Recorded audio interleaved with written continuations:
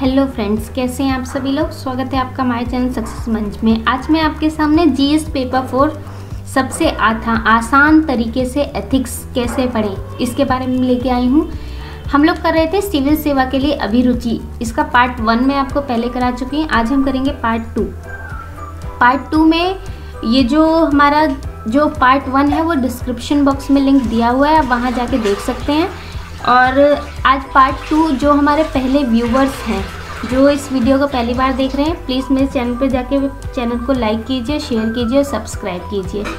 तो चलिए शुरू करते हैं सिविल सेवा के लिए अभिरुचि means aptitude for civil services ये आप देख सकते हैं यहाँ पर, ये इसका सिलेबस दिया हुआ है। हमने attitude content structure function its influence and relation with thought and behaviour moral and political attitude social influence and persuasion ये सारा हम कंप्लीट पहले ही कर चुके हैं। ये प्लेलिस्ट में पूरी वीडियो सीरीज़ की लिस्ट आपको दे रखी है। उसमें जाके आप लोग देख सकते हैं। हम लोग कर रहे थे aptitude aptitude for civil services ये पहला पार्ट है इसका। सेकंड पार्ट जो फाउंडेशनल वैल्यूज़ है मीन्स बुनियादी जो मूल्य हैं, वो हम नेक्स्ट वीडियो में करेंगे। और होप आज की वीडियो में ये कंप्लीट हो जाएगा, नहीं तो एक और वीडियो है, उसके बाद ये पूरा एप्टीट्यूड का चैप्टर ख़त्म हो जाएगा, फिर हम नेक्स्ट चैप्टर इसमें शुरू करेंगे।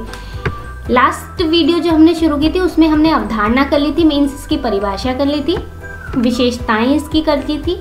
आज की हमारी वीडियो में हम करेंगे अभिक्षमता एवं बुद्धिमत्ता में क्या संबंध है, अभिक्षमता एवं रुचि में क्या संबंध है, और अभिक्षमता परीक्षण क्या होता है, इसके बारे में हम जानेंगे। एक टॉपिक रह जाएगा हमारा लोक सेवकों के लिए अभिक्षमता या अभिरुचि। तो वो हम ला, एक और वीडियो लाएँगे, उसमें कंप्लीट करके आपका ये एप्टीट्यूड खत्म हो जाएगा, फिर हम आगे का कोर्स कंटिन्यू करेंगे।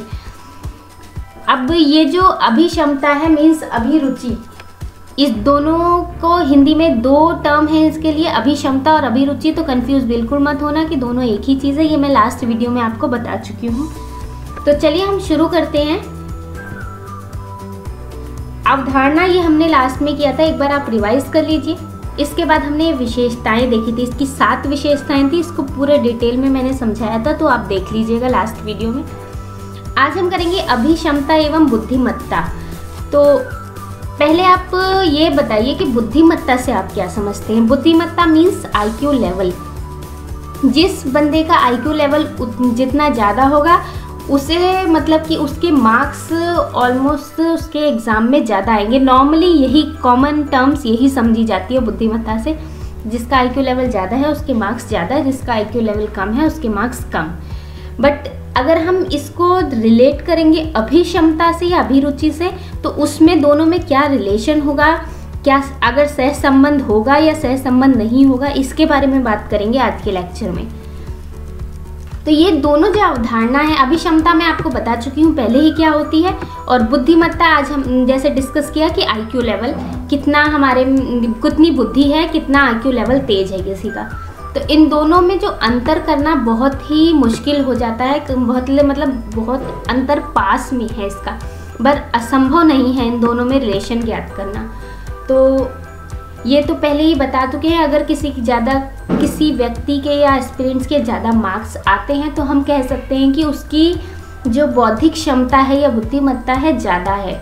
जबकि अभिक्षमता जो होती है, अभिरुचि, उसका संबंध एक विशेष क्षेत्र से होता है कि उस विशेष क्षेत्र में पर्टिकुलर उसकी कितनी क्षमता है, कितनी पकड़ है। बुद्धिमत्ता की जो अवधारणा है, इसके अंदर मानसिक योग्यताओं का एकमात्र मापदंड माना जाता है। इसमें मानसिक योग्यताओं को ज़्यादा ध्यान में रखा जाता है, जबकि अभिक्षमता के अंतर्गत यह माना जाता है कि व्यक्ति में एक दूसरे से स्वतंत्र बहुत सारी योग्यताएँ हो सकती हैं, बहुत सारी क्षमताएँ हो सकती हैं। जैसे कि इसकी विशेषताओं में हमने देखिए, लास्ट वीडियो में देखा था कि वर्तमान गुणों का समुच्चय होता है, व्यक्ति की विशेषता की ओर संकेत करता है। तो ये सारी गुणों का एक साथ जब बाउंडेशन बनती है तो इसे हम अभिक्षमता कह सकते हैं। जिन क्षेत्रों में जैसे कि ऊँची तार्किक क्षमताओं की आवश्यकता होती है, तार्किक क्षमताएँ मतलब गणना करने की क्षमता और वैज्ञानिक जो खोज होती हैं डिस्कवरीज करने की क्षमता, अगर उनकी आवश्यकता होती है तो उसमें बुद्धिमत्ता और अभिक्षमता दोनों का साथ साथ या सहसंबंध होना आवश्यक है।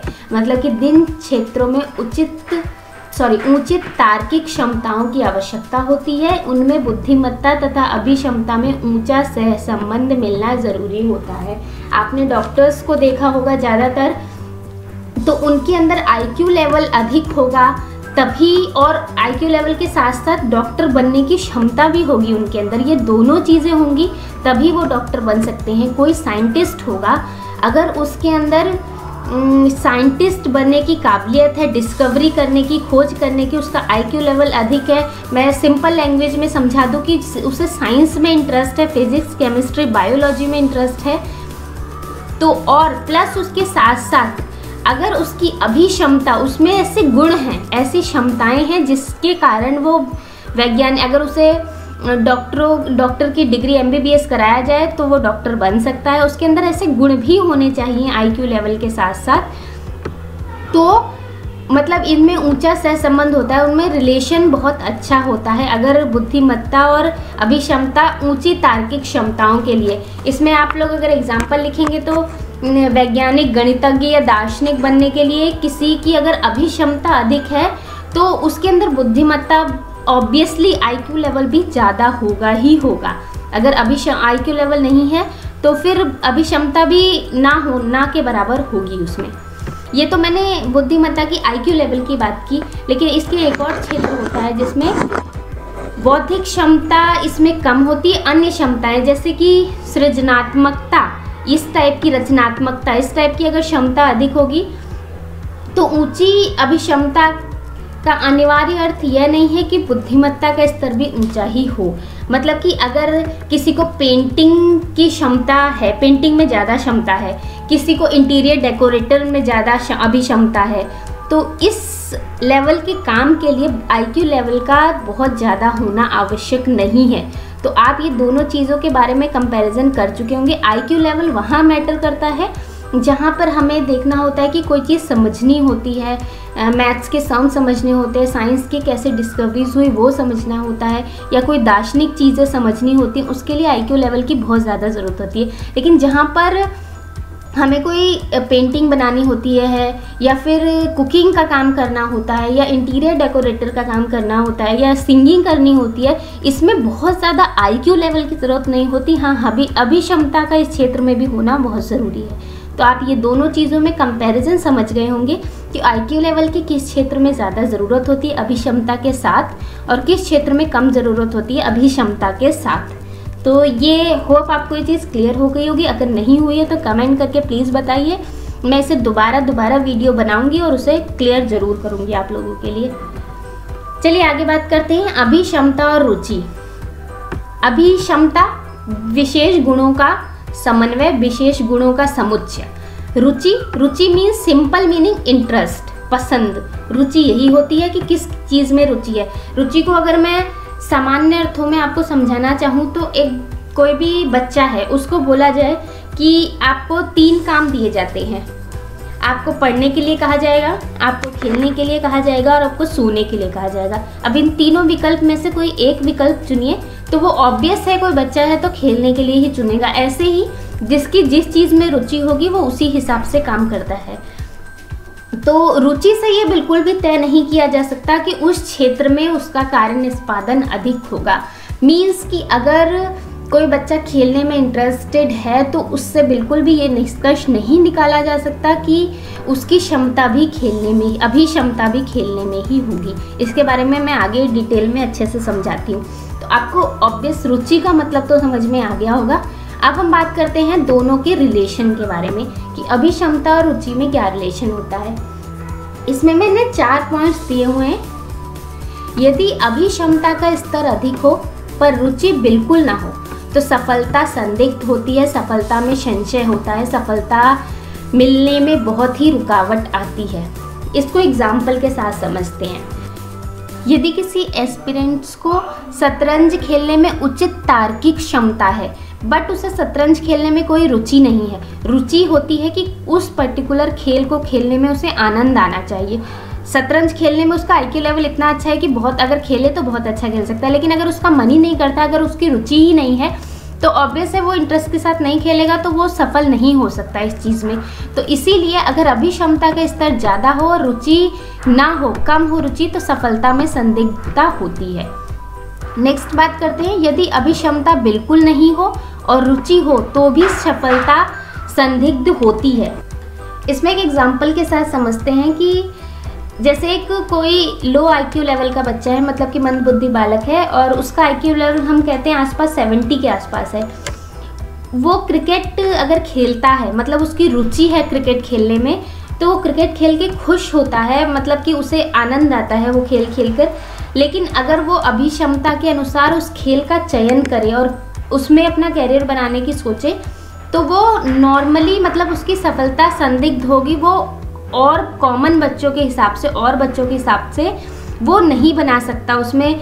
मैं ये कॉमन बात कर रही हूँ एक्सेप्शनल केस बहुत होते हैं, वो चीज़ अलग है। मैं कॉमन नॉर्मली बात कर रही हूँ, इस खेल में उसे बहुत सारी चुनौतियों का सामना करना पड़ेगा, अगर वह मंदबुद्धि बालक है तो। उसे चीज़ें समझने में बहुत ज़्यादा डिफ़िकल्टीज आएगी। अगर इसी तरह एक और एग्जांपल ले लेते हैं, अगर कोई वैज्ञानिक साइंस की एक्सपेरिमेंट करने में किसी को मज़ा आता है, अच्छे लगते हैं, लेकिन उसका आईक्यू लेवल कम है, वो मतलब कि समझ नहीं पाता, उसमें वैसी विशेषताएँ नहीं है साइंस का डिस्कवरी करने की तो भी सफलता बहुत संदिग्ध हो जाएगी, मिलती है सफलता, ऐसा नहीं है, बहुत से ऐसे एग्ज़ाम्पल है जिनको सफलता मिली है, लेकिन मैं कॉमन बात कर रही हूँ, कोई पर्सनली से बिल्कुल भी ना ले। ये कॉमन चीज़ें होती हैं तो अगर अभिक्षमता बिल्कुल नहीं है और रुचि हो भी तो भी सफलता संदिग्ध होगी। थर्ड केस यदि ना अभिक्षमता हो, ना अभिरुचि सॉरी यहाँ अभी रुचि नहीं, रुचि आएगा। ना अभिक्षमता हो, ना रुचि हो तो भी सफलता की संभावना नहीं। ये तो बहुत ही ऑब्वियस है। एक वकील है, मान लेते हैं एग्ज़ाम्पल ले लेते हैं। एक वकील को पहाड़ पे चढ़ने की कोई रुचि नहीं है। उसको जैसे एक हम लॉयर लेते हैं, उसको बिल्कुल भी पहाड़ पे चढ़ने की, एवरेस्ट फतेह करने की कोई रुचि नहीं है। और वकील है तो उसे अभी क्षमता भी नहीं होगी, क्योंकि वो अपना करियर वकालत में बना चुका है तो ना अभी क्षमता, ना रुचि तो सफलता तो वो काम ही नहीं करेगा तो उसे सफलता उस क्षेत्र में कहाँ से मिलेगी? थर्ड और बहुत ही अच्छा ये, जिसमें सफलता की बहुत ही अच्छी संभावनाएँ होती हैं। बड़े बड़े जो ऑफिसर्स बनते हैं बड़े बड़े जो हमारे देश में ऐसे लोग हुए हैं, जिन्होंने नाम रोशन किया है इंडिया का, वो उनके साथ ज़रूर ऐसी ही बात हुई होगी। उच्च रुचि और उच्च अभिक्षमता अगर एक साथ उपस्थित होगी, सचिन तेंदुलकर हो गए और हमारे सरदार वल्लभ भाई पटेल, बहुत सारे ऐसे लोग हैं डॉक्टर अबुल कलाम आज़ाद तो उनके अंदर उच्च रुचि के साथ साथ उच्च अभिक्षमता भी होगी तो सफलता में कोई संदिग्धता नहीं होगी, अतिशय सफलता वहाँ प्राप्त होगी। अनगिनत नाम है इस क्षेत्र में। तो आपको ये अच्छे से बिल्कुल समझ में आ गया होगा कि इसमें चार केसेस होते हैं। तो ये चार केसेस बिल्कुल आप क्वेश्चन के अकॉर्डिंग अपना आंसर देंगे, जैसे क्वेश्चन आएगा, उसके अकॉर्डिंग आप इस आंसर राइटिंग को चूज़ करेंगे। आगे हम बात करते हैं, बहुत ही इजी टॉपिक अभी क्षमता परीक्षण। सारे एस्पिरेंट जो ये वीडियो मेरी देख रहे होंगे, सबने ये सेकंड सी सेट का एग्ज़ाम तो हमेशा ही दिया होगा पेपर टू तो वही होता है एप्टीट्यूड टेस्ट कि आपकी क्षमता को मापा जाता है कि आप मैथ्स में कैसे हैं साइंस में कैसे हैं, और अर्थमेटिक आपका कैसे है रीजनिंग कैसे है, आपकी आप फिजिक्स में कैसे ऐसा मतलब कि हर एक क्षेत्र में अगर आपकी क्षमता को नापा जाता है तो उसके लिए सी सेट का एग्ज़ाम दिया जाता है। ऐसे ही मैट का एग्ज़ाम होता है। मैनेजमेंट एप्टीट्यूड टेस्ट एमबीए करवाने के लिए सेट का एग्ज़ाम होता है कैट का सॉरी क्लर्कियल एप्टीट्यूड टेस्ट होता है। और ये डेट का एग्ज़ाम है, ये है डिफरेंशियल एप्टीट्यूड इसके अंदर जो होते हैं, आठ अलग अलग तरह के प्रशिक्षण होते हैं। इसमें जैसे कि अमूर्त, तर्क क्षमता, भाषाई क्षमता, गणीय, गणितीय क्षमता, ऐसे बहुत सारी क्षमताएँ इसके अंदर मापी जाती हैं। तो परीक्षण इस टाइप से होता है कि किसी भी प्रत्याशियों को सीखने की क्षमता को परखने के लिए इन परीक्षणों का सहारा लिया जाता है कि उसके अंदर कितनी कैपेबिलिटी है कि वो कोई काम कर सकता है। ये अभिक्षमता जो परीक्षण है, ये सामान्य अभिक्षमता परीक्षण भी हो सकता है, जिसे जनरल एप्टीट्यूड टेस्ट कहते हैं और क्षेत्र विशेष के लिए भी अभिक्षमता परीक्षण होता है, जिसे स्पेसिफिक एप्टीट्यूड कहते हैं टेस्ट कहते हैं। सामान्य अभिक्षमता परीक्षण में एक साथ कई क्षेत्रों के लिए अभिक्षमता परीक्षण लिया जाता है। जैसे कि ये तो आपको बताने की कोई ज़रूरत ही नहीं है मुझे। सी सेट का एग्ज़ाम्पल आपके सामने है। आप लोग देते हैं तो हर एक सब्जेक्ट में देते हैं तो वो कई क्षेत्रों में आपकी जो भी कुशलता है अभिक्षमता है, उसको इसमें परखा जाता है। और इन सब का जो आंकड़े होते हैं, अंक होते हैं, उनको एक साथ कंबाइंड करके फिर मेरिट बनाई जाती है। फिर उनको आंका जाता है और अपने मेरिट से कंपेयर किया जाता है कि इस क्षेत्र में इतने अभिक्षमता के थ्रू अंक पाने वाला बच्चा हमारे लिए कैपेबल है या नहीं, हमारे क्षेत्र में आने के लिए कैपेबल है या नहीं। तो ये सब आपको अच्छे से समझ में आ गया होगा और भी बहुत सारे टेस्ट होते हैं। ये मैंने कॉमनली नाम बताए हैं जो कि आप लोग जानते हैं, अच्छे से अच्छे से इन क्षेत्र, इन टेस्टों के बारे में जानते होंगे। तो आज हमारा ये यहीं पे ख़त्म होता है। आज हमने तीन टॉपिक ख़त्म किए। अभिक्षमता और बुद्धिमत्ता में संबंध देखा, अभिक्षमता और रुचि में संबंध देखा और अभिक्षमता परीक्षण क्या होता है और कौन कौन से होते हैं इसके बारे में देखा। नेक्स्ट वीडियो में हम करेंगे लोक सेवक के लिए अभिक्षमता इसकी क्या ज़रूरत होती है और कैसे यूज़ कर सकते हैं, ये हम नेक्स्ट वीडियो में देखेंगे। यहाँ पर हमारा एप्टीट्यूड ख़त्म हो जाएगा। इसके बाद मैं आपकी इसको पीडीएफ प्रोवाइड करवा दूँगी। और साथ में जल्द से जल्द नया लेक्चर लाके कोशिश करूँगी कि आपका जीएस पेपर फोर फटाफट कंप्लीट करवाऊँ। तो इसके लिए हमारे चैनल को ज़्यादा से ज़्यादा शेयर भी कीजिए सब्सक्राइब कीजिए और लाइक कीजिए और बेल आइकन ज़रूर दबाइएगा। Thank you thanks for watching